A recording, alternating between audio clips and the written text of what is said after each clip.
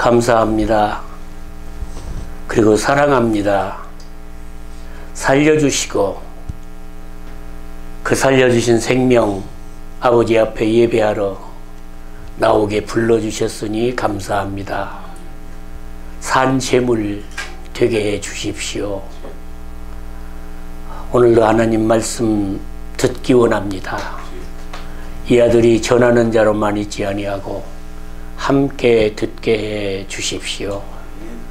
준비하고 들었지만 또 듣게 해 주셔서 생명의 말씀이 제 생명을 늘 힘있게 하옵소서 예수님 이름으로 감사하고 기도드립니다. 아멘. 어, 제가 본문을 개인적으로 번역을 해본다면 그러므로 이제 그리스도 예수 안에 있는 자에게는 결코 정죄함이 없는데 왜냐하면 생명의 성령의 법이 그리스도 예수 안에서 죄와 사망으로부터 너를 해방하였기 때문이라 하겠습니다. 1절이 시작되는 그러므로는 앞에 언급한 말씀을 기반으로 다음 말씀이 전개된다는 의미입니다. 넓게 보면은 1장부터 7장까지 학자에 따라 각기 다르게 이야기를 합니다. 어, 뭐 6장과 7장을 삽입부라고 하는 분들도 있지만 저는 뭐 그렇게 공부를 많이 안 해가지고 그렇게 막적으로 따질 건 아니고 그러나 저는 개인적으로 어, 로마서 8장 1절이 1장부터 7절 크게는 그리고 좁게 보면은 적어도 7장을 받아서 그러므로 한다. 어, 그렇게 보는 것이 저는 좋다고 생각합니다. 그리고 1절 초대 우리말 성경에 나오는 그러므로는 그런데 또는 어, 그렇지만으로 이해하고 2절 마지막을 해, 마지막에 그 해방하였음이라를 해방하였기 때문이라 그렇게 읽으면은 본문이 조금 더 명쾌해질 것입니다. 27장 24절 보면은 오직 믿음으로 의롭다 하심으로 얻어서 의인이 되어 어, 사는 의인이 아직도 자기 속에 죄 또는 죄의 법이 있어서 의인이 원하지 않는 일을 행하게 함으로 죄를 짓고 오라 나는 곤고한 사람이로다. 이 사망의 몸에서 누가 나를 건져내랴 하는 탄식에 이어서 이 15절에 보면은 우리 주 예수 그리스도로 말미암아 하나님께 감사하리로다. 그런즉 내 자신이 마음으로는 하나님의 법을 육신으로는 죄의 법을 섬기노라 하는 말씀이 있는데 이 말씀이 27장 24절과 25절이 8장 1절과 연결고리입니다. 그런데 또는 그렇지만 그리스도 예수 안에 있는 자에게는 결코 정죄함이 없다라고 선언하는 말씀이 1절이고 2절은 1절의 근거를 제공합니다. 그러면 하나님을 믿어서 의인이 되고 물과 성령으로 거듭나 하나님의 자녀가 된 자는 죄를 짓는 것이 아니라는 이론을 세울 수 있었고 이런 이론이 사도들이 사는 초대교회에 벌써 있었습니다. 그래서 군색하게 어, 그인은 죄를 짓지 않는다 하는 자기들의 신앙을 세우기 위해서 어, 어떤 이단들은 우리 영이 죄를 짓는 것 아니라 몸이 죄를 짓는다. 아니면 저기다 조금 한 발 더 물러가서 우리 영이 죄를 짓는 것도 아니고 몸이 죄를 짓는 것도 아니고 혼이 죄를 짓는 것이다. 그렇게 어, 말을 하고 피해 나가는 사람들이 있습니다. 그러나 의인도 죄를 지으면은 육신이 짓는 것 아니고 혼만 짓는 것 아니고 내가 짓습니다. 그래서 혼이 회개하는 것 아니고 육신이 회개함으로 되는 것 아닙니다. 내가 회개해야 됩니다. 내가 깨끗해져야 됩니다. 그래서 범죄하게 됩니다. 그래서 요한일서 1장 8절 10절에 보면 만일 우리가 죄 없다고 말하면 스스로 속이고 또 진리가 우리 속에 있지 아니할 것이요 만일 우리가 우리 죄를 자백하면 그는 미쁘시고 이루사 우리 죄를 사하시며 우리를 모든 불의에서 깨끗하게 하실 것이요 만일 우리가 범죄하지 아니하였다면 하나님을 거짓말하는 자로 하는 이로 만드는 것이니 또한 그의 말씀이 우리 속에 있지 아니하니라 하십니다. 전도서 7장 20절에도 선을 행하고 전혀 죄를 범하지 아니하는 의인은 세상에 없기 때문이로라 하십니다. 이미 로마서 7장에서 단식한 대로 우리가 육신에 사는 동안에는 죄에 길들여져 있고 오염된 우리 육신으로 인해서 죄의 법을 따르게 되어져 있고 이런 육신을 옛사람이 지배할 때 죄를 짓게 됩니다. 구원받은 자는 이를 알고 체험하기 때문에 죄와 싸우되 피 흘리기까지 싸우는 것이 의인의 삶입니다. 복음을 들어 믿고 은혜로 위롭다 하심을 얻어서 춤을 추며 기뻐하고 이제는 승리하였다라고 외쳤는데 막상 삶이라고 하는 현 실에 부딪혀 보니 죄를 짓게 됩니다. 의인이 되기 전에는 죄를 지어도 당연하다고 그렇게 여겼습니다. 그런데 이제는 죄를 짓고 나서가 더 큰 문제인 것이 그의 영혼 속에서 일어납니다. 의인은 7장 24절에 있는 대로 오라 나는 곤고한 사람이로다. 이 사망에서 사망의 몸에서 누가 날 건져내라 고 믿기 전에는 전혀 모르던 탄식이 믿고 나서 구원의 즐거움을 체험하고 나서 그 속에서 솟아나게 됩니다. 이런 삶을 체험하는 것이 구원받은 자입니다. 이것이 오직 믿음으로 의롭다 하심을 얻은 우리가 사는 현실입니다. 아, 여기 설교하기가 참 어려워요. 왜냐면 뭐 장로님들, 목사님들이 계셔가지고 웬만한 말 해봐야 안 되고 괜히 그냥 그런 것 같지만 전 그렇게 감히 말씀을 드립니다. 이런 삶을 체험하시는지요? 체험하시는지요? 체험하셔야 하는데 그것이 죄를 떠나서 의롭게 살려고 몸부림치는 의인의 생명 활동의 소극적인 모습입니다. 본문 1절에 그러므로 이제 그리스도 예수 안에 있는 자에게는 결코 정죄함이 없나니 해서 정죄함이 없다는 말씀은 죄를 짓지 않는다는 말씀이 아니라 죄를 범하기도 하지만 죄인이라고 선고받지 않는다는 말씀입니다. 세상 법정에서도 재판장이 판결문을 낭독해서 내가 이러이러한 행동을 한 것이 죄이며 그에 대한 형벌을 이만큼 받아야 된다고 선고하고 고태를 탕탕탕 두드리면 그 순간부터 그의 의인은 죄인입니다. 그의, 그의 신부는 죄인입니다. 그 전까지는 피고인입니다. 피의자일지언정 법으로는 아직 죄인이라는 선고를 받지 않았습니다. 그러나 그렇게 선고되어지면 신분이 죄인입니다. 그처럼 누구든지 그리스도 예수 안에 있는 자에게는 죄를 짓지 않아서 정죄함이 없다 아니고 그리스도 예수 안에 있는 자에게는 정죄함이 없느니라 하는 말씀은 예수님을 믿는다는 정도에 있는 것이 아니라 그리스도 안에 살고 있는 자에게는 죄인이라고 하는 판결, 심판이 결코 없다는 법적 선언입니다. 주님께서 세상에 계시는 동안에 내가 진실로 진실로 너희에게 이르노니 내, 어, 내 말을 듣고 또 나 보내신 이를 믿는 자는 영생을 얻었고 심판에 이르지 아니하나니 사망에서 생명으로 옮겼느니라 하는 말씀 요한복음 5장 23절 24절에 기록되어 있는데 지금도 이 말씀이 온 세상에 울려 퍼지고 있습니다. 심판에 이르지 아니하나니 로마서 8장 34절 누가 정죄하리요? 죽으실 뿐 아니라 다시 살아나신 이는 그리스도 예수시니 그는 하나님 우편에 계신 자요 우리를 위하여 간구하는 자신이라 하시는 대로 여러분과 나를 용서하시려고 죽으셨고 의롭다 하기 위하여 살아나신 분이 그리스도 예수님이시고 지금 여러분과 나는 그분 그리스도 예수님 안에 있는 자이기 때문에 결코 어느 누구도 어느 것도 물질 세계와 영적인 세계와 과거와 현재 그리고 미래의 모든 것이 힘을 합하여 일어나도 예수 그리스도 안에 있는 여러분과 나를 결코 죄인이라고 정죄할 수 없습니다. 할렐루야. 나는 이걸 믿습니다. 나무농구기는 그리스도 예수 안에 있는 의인입니다. 죄인이 아닙니다. 의인입니다.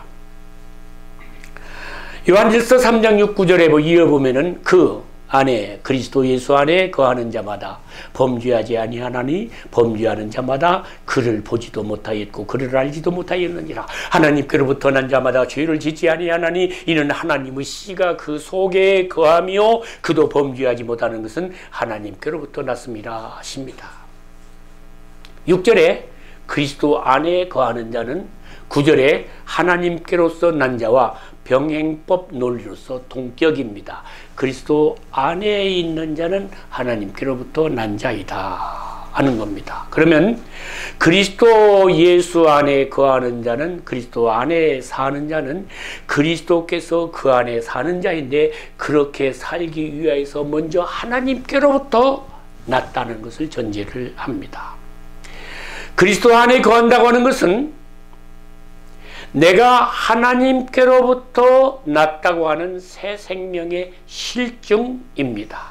하나님께로부터 나서 자녀된 자가 사는 곳이 그리스도 안입니다. 하나님께로부터 나서 그리스도 안에 사는 자는 계속 죄를 지으면서 죄 안에 사는 자가 아니라는 말씀입니다. 때때로 죄를 짓지만 죄를 먹고 마시며 죄 안에 거하는 자가 아니라 하는 말씀입니다. 뭐 목사님들은 그렇게 기도하는 걸 안 들어봤습니다만은 장로님들, 집사님들이 대표 기도하면서 하나님 일주일 동안 죄 가운데 죄를 먹고 마시고 살다가 왔습니다. 기도할 때 저는 막 몸에 전율이 일어납니다. 그러면 안 되는데, 그러면 안 되는데, 저 의식 가지고 어떻게 죄를 이길 수 있는가 생각을 합니다. 예수님을 믿고 구원받은 자는 그가 사는 곳이 죄 가운데가 아닙니다. 결코 죄 가운데가 아닙니다. 그리스도 안에서 삽니다. 그래서 의인의 삶터는 집도 아닙니다. 직장도 아닙니다. 학교도 아닙니다. 심지어는 예배당도 아닙니다. 그리스도 안에서 사는 자입니다. 물리적인 초막이나 궁궐이나 관계없습니다. 감옥이나 평안한 침대나 차이가 없습니다. 그리스도 예수 안에 있는 자는 그리스도 예, 구원받은 자는 그리스도 예수 안에 삽니다. 이는 타협의 의지가 전혀 없습니다. 의인이 죄를 짓지 않는다는 말씀은 죄를 짓는 위치에 있지 않다 하는 말씀입니다. 그러므로 의인이 죄를 짓지만 죄가 범상이 아닙니다. 먹고 마시는 일상이 아닙니다. 실수한 겁니다. 떨어진 겁니다. 일어납니다. 타락입니다. 되돌아옵니다. 바울이 로마 황제 반계를 받기 위해서 로마로 가는 로정에서 배가 파선당해서 멜리더라 하는 섬에 머물 때 날씨가 추워서 불을 피웠습니다. 나무떼서, 나무단에서 나온 독사가 바울의 손을 물었습니다. 그것을 본 원주민들이 저가 바다에서는 구원을 받았지만 하나님의 공의가 신의 공의가 그를 살지 못하게 한다고 혀를 껄껄껄 찼습니다. 그런데 몸이 부어오르고 떼굴떼굴 뒹굴고 곧 죽어야 할 사람이 죽지 않고 멀쩡하게 또 나무를 집어서 불에 집어넣고 떼고 있습니다. 조금 더 상황이었었습니다. 그를 본 원주민들이 바울이 신인가 보다 생각하게 이르렀습니다. 물론 하나님께서 독사에 물린 바울에게 독사의 독이 일하지 못하도록 건져 주셨습니다. 그런데 독사가 바울의 손을 물었을 때 그 독사는 물면서 독을 쏩니다. 물 때는 어, 독사의 이빨이 이렇게 생기죠. 이렇게 안 생겨요. 이렇게 벌리고 때는 이렇게 해서 이렇게 쏩니다. 독을 물과 동시에 쏩니다. 그런데 바울이 주님께서 뱀을 집어 올리며 무슨 독을 마실지라도 해를 받지 아니하며 아니하며 병든 사람에게 손을 얹은즉 나으니라 하고 하시는 말씀을 믿고 손을 물고 있는 뱀을 가지고 놀지 않았습니다. 바울이 그 짐승을 불에 떨어버림에 조금도 상함이 없더라 기록되어져 있습니다. 바울이 원하지 않았지만 뱀에게 물렸듯이 오늘 저도 여러분도 죄를 지을 수 있습니다. 연약하고 어려서 아직도 우리 안에 있는 죄와의 영적 싸움에서 지고 옛 성품 때문에 온유하지 못하고 죄를 지을 수 있습니다. 그러나 그 죄를 가지고 놀지를 않습니다. 의인은 죄를 짓지만 그 죄를 즐기지 못합니다.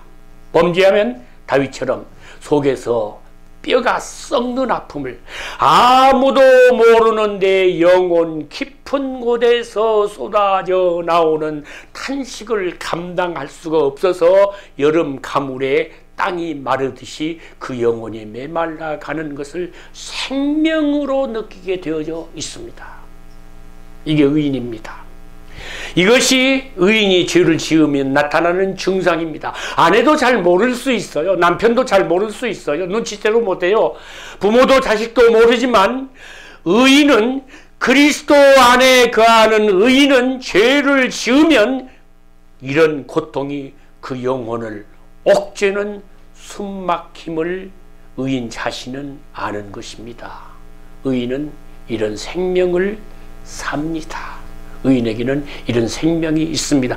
단지 느낌이나 증상, 심지어는 양심의 가책 정도가 아닙니다. 이런 것들이 생명, 영원한 생명의 반응입니다. 작년 여름에 어떤 여자가 한 서울 한강에 빠져서 자살하고 있었습니다. 현역 해군, 해군 중령이 조깅을 하다가 해군이 얼마나 수영을 잘하겠습니까?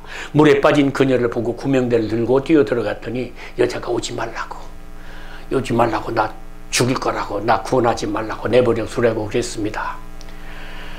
수영을 알고 하는 사람이기 때문에 다가가지 않고 구명대를 던져 주었는데 처음에는 구명대를 밀어버리고 죽을 결심을 하고 자기가 죽으려고 의지적으로 노력하다가 숨이 넘어갈 지경에 구명대를 가서 찾아가지고 그래서 살았다 하는 기사가 나왔습니다.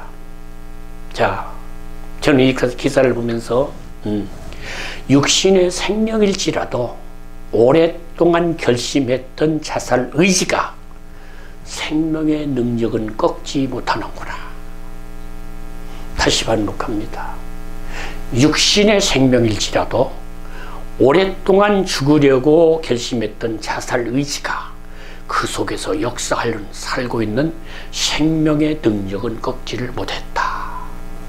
의인에게는 영원한 생명이 있어서 그 생명을 사는 것입니다. 그 생명은 곧 예수님의 생명이며 그 생명은 생명이신 예수님께서 내 안에 사시는 생명입니다. 우리는 지금 그 생명을 얻어서 살고 있습니다. 이런 생명을 사는 의인은 결코 죄를 먹고 마시고 살 수 없습니다. 죄를 먹고 마시면서 너스레를 떨 수가 없습니다. 범죄 계속하면서 범죄 계속해서 얼굴을 분장하고 나설 수가 없습니다. 의인의 생명을 사는 자는 그럴 수가 없습니다. 바다에 사는 물고기는 짠 물을 매셔, 마셔대고 사는데 간이 들지를 않지요. 바다에서 잡은 고기를 요리하려고 하면 소금을 쳐야 합니다. 근데 소금을 치는데 바닷물만큼 짜게 치면 먹을 수가 없습니다. 그런데 바다에서 죽은 물고기는 즉시 바닷물에 젖어들기, 절여들기 시작합니다. 바다 소금이 죽은 물고기의 몸을 파고 들어갑니다. 그러나 산 물고기는 바닷물을 계속 마셔댑니다. 그런데 그 생명의 활동이 소금을 걸러냅니다. 이것이 생명의 환경을 극복하는 능력입니다. 여러분과는 죄악된 세상에 살고 있습니다. 그러나 죄를 즐기는 옛사람이 사는 것이 아니라 죄를 걸러내는 새 생명을 사는 의인입니다. 이 자의식이 분명히 필요합니다. 죄의 현장을 눈으로 보기도 하고 당하기도 하고 어떤 때는 죄를 짓기도 하지만 생명의 성령의 법이 죄와 사망에서 그리스도 안에서 너를 죄와 사망으로부터 구원하였습니다. 해방하였습니다. 하고 이절에 선언하신, 말, 선언하신 말씀이 유효해서 생명의 성령께서 능력으로 역사하셔서 능히 죄를 이기고 흠도 없고 점도 없고 티도 없고 주름 잡힌 것도 없고 책망할 것도 없이 하나님 앞에 거룩하게 살도록 살게 하시는 것이 예수 그리스도 안에 사는 자들의 생명입니다. 이 생명이 여러분과 나를 이끌어 가시고 이 성령께서 이끌어 가십니다. 본문 2절을 간단하게 정리하면 법이 너를 해방하였음이라 입니다. 법이 너를 해방했다. 우리 번역에는 이는 그리스도 예수 안에 있는 생명의 성령의 법이라 하지만 저는 앞절들에 이어지는 헬라어 후문으로 봐서 이는 생명의 성령의 법이 그리스도 예수 안에서 죄와 사망의 법으로부터 너를 해방하였기 때문이라 라고 읽습니다. 8장 1절에서는 그리스도 예수 안에 있는 자에게는 결코 정죄함이 없으며 정죄함이 정죄함을 받지 않는 의인이 죄와 사망으로부터 해방을 받는 위치, 장소, 조건 그것도 곧 그리스도 예수 안에서이다 하십니다. 그렇기 때문에 7장 25절에서 이미 우리 예, 7장 25절에서 우리 주 예수 그리스도로 말미암아 하나님께 감사하리로다라고 외치게 하셨습니다. 이 진리를 아는 의인은 그리스도 예수 안에 머물기를 생명을 내대고 내대고 내대고 힘씁니다. 아니 이런 생명은 우리가 사는 생명은 우리가 사는 영생은 그런 생명입니다. 그리스도 예수 안에 머무는 자는 누가 우리를 그리스도의 사랑에서 끊으리오 환란이나 공고나 박해나 기근이나 적신이나 위험이나 칼이랴라고 외칠 수 있는 생명을 사는 자가 의인입니다. 의인에게는 환란도 없고 곤고도 없고 핍박도 없고 심지어는 시험 유혹 없다. 그래서 의인 예수를 믿으면 모든 것이 잘 되고 형통한다. 그건 보장되어 있지 않습니다. 병을 앓을 수 있습니다. 암에 걸릴 수도 있습니다. 그보다 또한 벌거벗김을 당하는 수치와 목숨을 앗아가는 칼의 위협이 의인이기 때문에 당해할, 당할 수 있는 것들이기도 합니다. 그런 환경에서도 그리스도 예수 안에 거하기만 하면 그리스도 안에 거하기만 하면 육신의 목숨이 끊어져도 내가 거하는 그리스도 예수 우리 주님의 사랑에서 끊을 수 없다는 것을 알고 확신 가운데 사는 자가 의인이 사는 생명입니다. 이런 생명을 사는 의인은 죄의 달콤한 맛을 모르는 것이 아닙니다. 압니다. 저도 죄의 달콤한 맛을 압니다. 그렇지만 그보다도 죄의 싹시 사망임을 체험하여 그 사망이 어떤 것인가를 머리로만 아니라 마음만으로만 아니라 그 영 깊은 곳에서부터 알고 있기 때문에 살기 위해서 뼈가 마르는 것 같은 독의 죄의 독을 알기 때문에 건강한 영적인 삶을 살기 위해서 죄를 대적하되 하되 피 흘리기까지 등동적으로 대항하며 사는 것이 의인의 사는 생명입니다. 이것이 의인의 생명입니다. 이것이 하나님이 주신 생명입니다. 여러분과 나는 그 생명을 사는 자입니다. 의인의 삶은 돈을 조금 더 벌려고 출세하고 어, 벌고 출세하고 성공하기 위해서 거짓이나 불법을 행하지 않습니다. 먹고 살 것이 있으면 족한 줄 알아서 열심히 일하고 범사에 감사하며 생명을 사는 자들입니다. 죄를 두려워할 줄 압니다. 죄를 두려워할 줄 압니다. 생명의 성령의 법이 너를 해방하였습니다 하십니다. 여러분과 나를 죄와 사망의 법으로부터 해방시키는 직접적인 동의는 생명의 성령의 법입니다. 많은 학자들이 생명의 성령의 법을 은혜라고 해석을 합니다. 그러면서 죄와 사망의 법이 율법이기 때문에 은혜가 우리를 율법으로부터 해방시킨다고 해석을 합니다. 나쁜 해석이 아닙니다. 그러나 이런 해석은 율법과 은혜라고는 대립 구도를 전제한 해석입니다. 다시 말씀드립니다. 이 해석이 결코 나쁜 것이 아닙니다. 그러나 본문을 읽는 그대로 가감하지 않고 해석을 하면 생명의 성령의 법이 은혜가 너를 죄와 사망의 보수에 해방한다 하지 아니고 생명의 성령의 법이 너를 죄와 사망으로부터 해방시킨다 합니다. 그래서 저는 그 말씀 그대로 받기를 좋아합니다. 은혜가 아님이 아니지만 생명의 성령의 법이 나무 농구기를 죄와 사망의 법으로부터 해방하고 여러분을 그렇게 하십니다. 앞에서도 이미 여러 차례 말씀드린 대로 의인이 의인된 우리는 이미 죄를 이길 수 있는 새 생명 영생을 얻어서 바로 그 생명을 사는 자들입니다. 우리 입장에서 보자면 죄를 이기고 승리할 수 있는 것은 우리가 사는 생명입니다. 종교의식이 아닙니다. 그런 것들이 아닙니다. 우리를 죄로부터 해방하는 것이 은혜라고 할지라도 생명의 은혜이고 능력이라고 할지라도 생명의 능력이고 법이라고 할지라도 생명의 법입니다. 종교의 법이 아닙니다. 종교 활동이나 종교적 경건으로 되거나 옛사람의 결심이나 의지적 결단으로 되는 것이 아닙니다. 우리는 결심하고 작정했던 일들이 번번이 실패하는 것을 체험적으로 익히 알고 있는 자들입니다. 바닷물을 마시는 물고기가 소금에 절여지지 않는 것은 그가 생체일 뿐만 아니라 생명을 살고 있기 때문이라고 이미 말씀드린 것처럼 여러분과 죄가 저가 죄가 만연한 세상에 살고 있지만 사망을 살지 않고 생명, 영생을 살기 때문에 죄에 젖어 살지 않고 죄를 먹고 마시며 살지 않는 것입니다. 우리는 죄를 범하지만 죄에 빠져 살지 않고 죄를 먹고 마시며 살지 않습니다. 죄를 먹고 마시며 사는 것은 사망입니다. 우리를 위롭다 하시는 것은 이 생명을 주시고 살게 하시기 위한 과정이며 기초이고 기반이며 흔들리지 않는 터입니다. 법은 세운 자의 권위만큼 구성력을 가지고 있습니다. 생명의 성령의 법은 하나님의 법입니다. 다시 말씀합니다. 여러분과 하나를 죄와 사망으로부터 해방시키시는 생명의 성령의 법은 하나님의 법입니다. 종교가 만든 법이 아닙니다.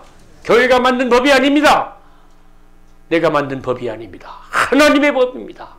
법이라고 할지라도 하나님의 법이 여러분과 나를 죄와 사망의 법으로부터 해방시키십니다. 성령의 법이기 때문에 어느 것으로도 이길 수 없고 절대의 법이고 이 법이 의인된 여러분과 나를 죄와 사망의 법에서 그리스도 예수 안에서 해방시키십니다. 요한일서 2장 1절 나의 자녀들아 내가 이것을 너희에게 쓰면 너희로 죄를 범하지 않게 하려 함이라 만일 누가 죄를 범하여도 아버지 앞에서 우리에게 대언자가 있으니 곧 의로우신 예수 그리스도라 하십니다. 의인이 사는 것은 죄 가운데가 아니라고 말씀을 드렸습니다. 그리고 의인이 사는 곳은 그리스도 안에서 사는 곳이기 때문에 죄를 짓지만 죄를 지으면 돌이킵니다. 돌이킵니다. 의인이 죄를 지으면 다시 죄인이 되는 것이 아니라 회개하고 주님께로 향합니다.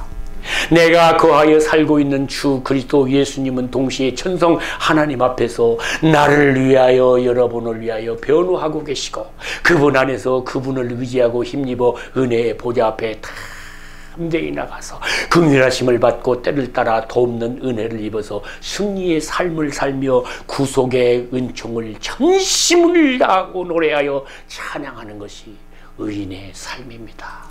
이 노래는 구속함을 받은 자만 배우고 부르는 새 노래입니다.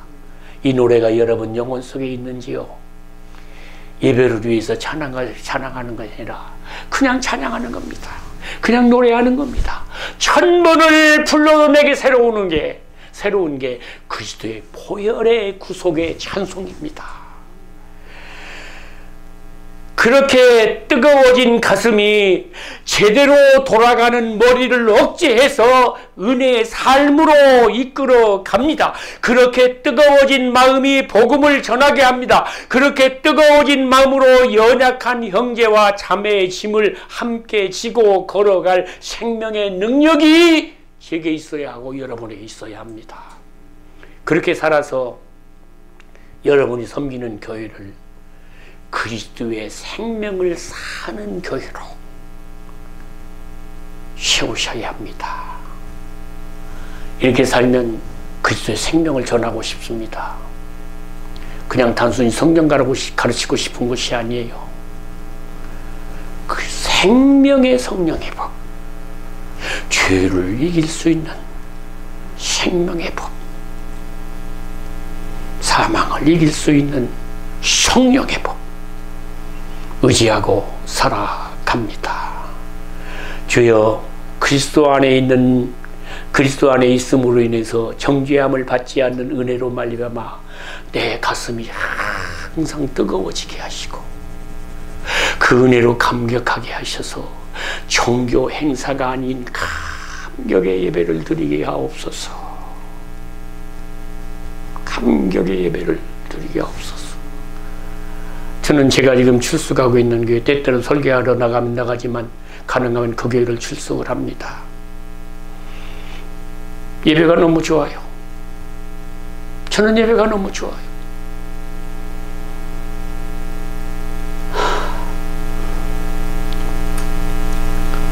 그 은혜에 감격해서 하늘과 땅은 땅을 진동시키는 찬송을 부르게 하소서.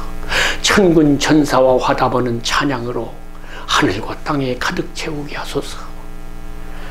로마서 5장 21절에 이는 죄가 사망에서 왕 노릇한 것 같이 은혜도 또한 의로 말미암아 왕 노릇하여 우리 주 예수 그리스도로 말미암아 영생에 이르게 하려 함이라. 로마서 5장 17절 한 사람의 범죄로 말미암아 사망이 그 한 사람으로 한 사람을 통하여 왕노릇하였은즉 더욱 은혜와 의의 선물을 넘치게 받는 자들은 한 분 예수 그리스도를 통하여 생명 안에서 왕노릇하리로다 하십니다. 생명 안에서 왕노릇하리로다. 의인에게는 여러분과 저에게는 예수 그리스도를 통하여 생명 안에서 왕 노릇할 왕적 권세가 주어져 있습니다. 주어져 있습니다. 이런 권세는 은사가 아니라 모든 성도에게 주신 생명입니다. 병 고치는 은사 없어도 괜찮아요. 방언을 못해도 괜찮아요. 생명 안에서 왕 노릇하는 권세는 이미 예수 그리스도 안에서 생명으로 주셨습니다. 그리고 우리는 그 생명을 사는 자입니다. 종교 활동하려고 하는 자 되지 않기를 원합니다. 제가 간절히 원합니다. 생명을 사십시오. 여러분이 주신 생명을 사십시오. 기억할 수 있다면 바닷물 속에 사는 물고기가 그렇게 짠 바닷물에 젖어들지 절여들지 않는 건 뭐 때문이라고요? 생명 때문입니다. 죽으면 곧장 바닷물이 그 속에 침투에 들어갑니다. 우리에게는 이런 생명이 있습니다. 그보다 더한 생명이 있습니다. 주여 이 생명의 은혜로 매일 승리를 맛보며 개선의 노래로 찬양하시고 그러나 이 모든 일에 우리를 사랑하시는 이로 말미암아 우리가 넉넉히 이기느니라. 외치고 외치고 왕노릇하여 살게 하시고 가정이 그런 가정이 되게 하시고 교회가 그런 교회 되게 하시고 이 복음 방송이 온 세상에 그런 자들이 많이 일어나는 일에 귀하게 쓰임 받는 방송 되어지기를 주님 이름으로 축복합니다. 기도해도 되나요? 기도하고 마칠까요? 가 기도합시다. 주님, 죽은 저를 우리를 살려주시고 주님이 내 생명으로 우리의 생명으로 우리 안에 사심을 감사합니다. 바울 사도를 고백하게 통해서 고백하게 하신 대로 내가 사는 것이 아니라 내 안에 그리스도께서 사시는 것이라. 아버지, 저희가 믿을 뿐 아니라 의식하게 해 주십시오. 순간순간 내 안에 그리스도가 사시는 이 영생을 사는 삶을 살 수 있도록 오 아버지여 저희 생각을 붙잡아 주십시오. 저희 느낌을 인도하여 주십시오.